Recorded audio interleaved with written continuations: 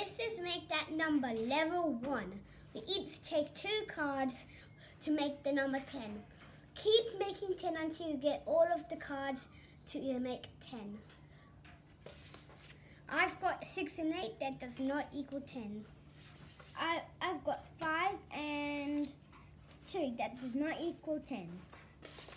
I've got 6 and 9, that, does, that definitely does not equal 10. I, I've got 7 and 3, that equals 10.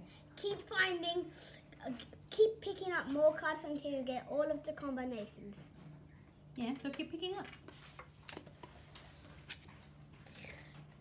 I've got 9 and 6, that does not equal 10. I, I've got 1 and 9, that equals 10. Job, Salu. I've got 5 and 5, that equals 10. Well done, Taryn. I've got 8 and 2, that equals 10.